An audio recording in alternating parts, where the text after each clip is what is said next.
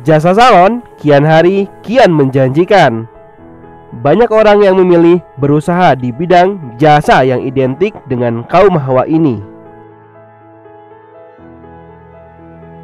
Karena animo masyarakat yang begitu tinggi, Yayasan Nurul Ilmi Lil Umah bekerja sama dengan para pengejar di Dinas Koperasi dan Usaha Kecil Pemerintah Provinsi Jawa Barat untuk memberikan workshop kewirausahaan.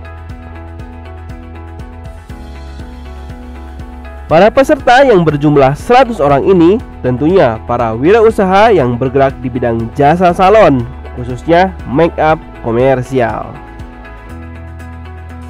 Workshop yang diadakan di kantor Yayasan Nurul Ilmi yang berlokasi di kota Bandung ini diharapkan dapat memberi peluang lebih besar bagi para wirausaha. Perkenalkan nama saya Lia Embasari, Kepala BP3W Dinas Koperasi Usaha Kecil Provinsi Jawa Barat.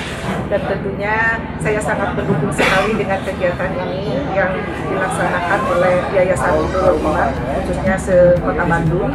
Dan tentunya kegiatan ini jangan sampai berakhir sampai di sini, tapi dilanjutkan dengan pelatihan wirausaha baru di BP3W Dinas Koperasi Usaha Kecil.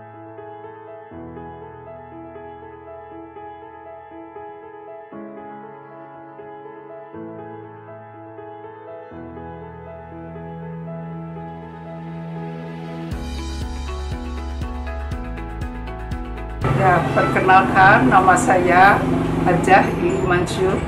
Saya memiliki Yayasan Nurul Ilmi Lil Umah yang ke, pada dasarnya kegiatan yayasan tersebut bergerak dalam bidang pendidikan, pelatihan, bajis taklim, pengajian-pengajian yang lebih utama meng, men, ditujukan kepada pemberdayaan perempuan.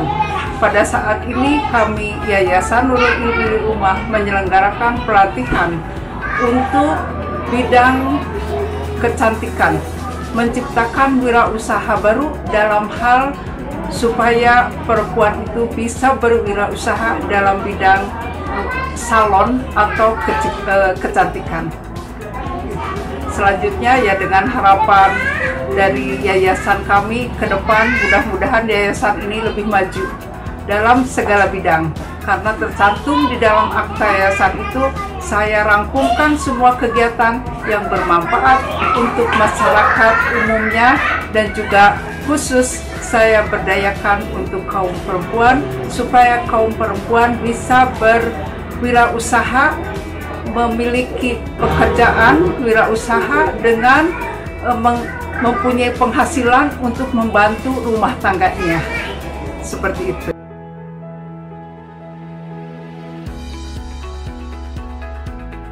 Semua peserta yang merupakan kaum perempuan terdiri dari ibu rumah tangga, mahasiswi, dan juga perempuan yang telah memiliki usaha salon.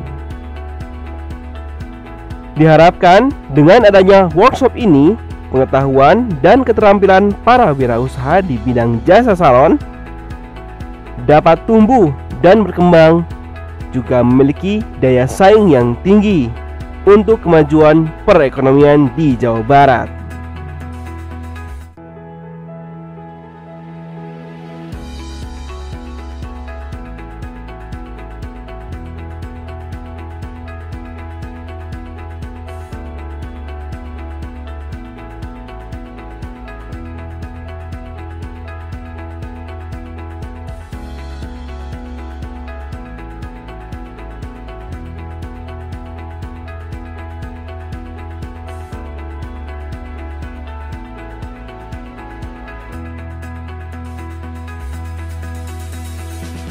Nama saya Diana Rahesti.